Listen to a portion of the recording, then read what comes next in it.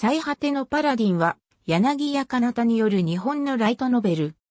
小説投稿サイト、小説家になろうで2015年5月1日に連載開始。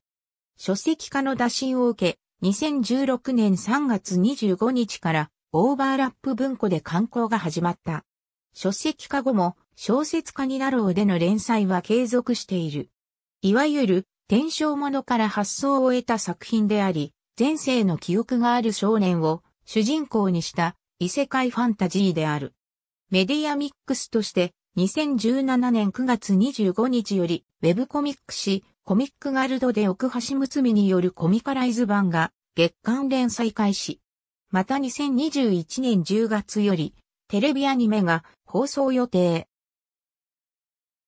作者が精神状態悪化を理由に活動を休止したことで、作品は2017年9月までで止まっている。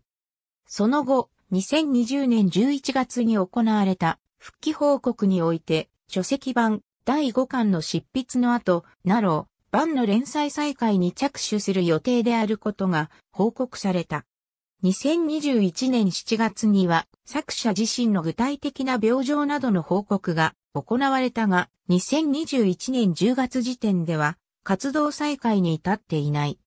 引きこもりとして無意な人生を過ごし、後悔して亡くなった主人公は記憶を保持したまま異世界に転生する。ウィリアムと名付けられた赤ん坊は数百年前に人の焚いた廃墟の町で生前は英雄として知られた三人の不死者、ブラッド、マリー、ガスに育てられる。今度こそ悔いのない人生を送ることを決意したウィルは、スケルトンの剣士ブラッドからは武術を、ミイラの神官マリーからは、一般常識と信仰を、ゴーストの魔法使いガスからは学問と魔法を学び、成長していく。この世界の成人の日にあたる数え15歳になる、当時の日の前日、ウィルは自身と育ての親の来歴を教えられる。約200年前に、女王と呼ばれる悪魔の王が、世界に大乱を引き起こし、世界の南半分にあたる南辺境大陸は壊滅した。育ての親三人は多数の仲間と共に女王を討伐しようとしたが、仲間たちは死に、女王は殺しきれずに、ガスとマリーの二人で地下深くへと封印した。もし三人が寿命を迎えれば、配下の悪魔たちによって封印が解かれる不安が残る。中、不死神スタグネートの分体たる小玉が降臨し、いずれ自らの下僕にすることと引き換えに、彼らを不死者とする契約を行う。ウィルが育った町は、女王が封印された場所であり、ウィルは悪魔が封印を解くために、どこからか連れてきた赤子だった。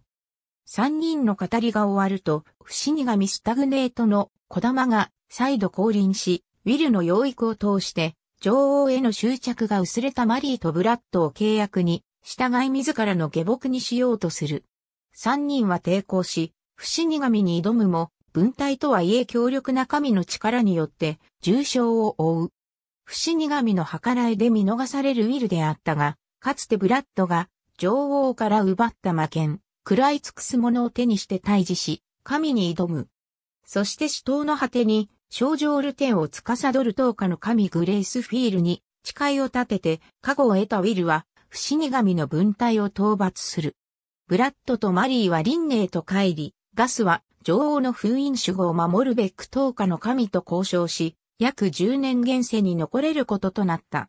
ウィルは親たちの意志を継ぎ、残された10年の間に女王の問題を解決するべく、生まれ育った町を後にする。約200年前の世界状況の知識しかないウィルは、人間の生活圏を探して、北を目指す。当下の神の啓示を受けながらも到達した人類社会の南端の森林地帯、獣の森は魔獣や悪魔が跋扈し、困窮する村々が点在する無法の土地だった。長年の訓練と前世の知識によって実は人並み以上の類稀な能力が備わっていたウィルは、その力を使って村々の問題を解決していく。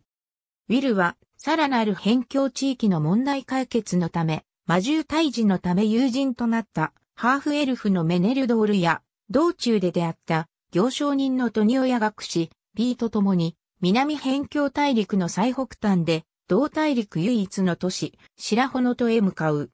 そして、町へやってきたウィルは、着せずして狂ったワイバーンを倒し、人々に知られた存在となる。有力者である領主サウスマーク公やバグリー神殿長に認められたウィルは、聖騎士に叙勲され、最果ての聖騎士として活躍をし始める。ウィルが町を出て2年。数え年で17歳となったウィルは、獣の森の中央にある菓子の廃墟の町を再興させた東下の河口を拠点に、森林地帯の事実上の領主となっていた。最終的に人類権が生まれ故郷の廃墟の町に到達すべく、ウィルは日夜地域一帯の発展に邁進し、時に政治や経済状況に不信する生活を送っていた。そんな折、かつて女王に組みし、鉄サビ山脈にあったドワーフの町を滅ぼした邪悪な竜、バラキアカが再び活動を開始するとの予言を受けたウィルは、新たに加わった仲間たちと共に対策を迫られる。数え年で18歳となった春。ウィルは地域の未来を考えて新たな産業を起こす計画を立てていた。ウィルはメネルと会話しながら、バラキアカ討伐後の秋冬に起こった仲間の求婚話や無敵の巨人との戦いなど様々な出来事を思い起こす。恋の子はテレビアニメ版の声優。2021年10月より東京 MX 他にて放送中。ありがとうございます。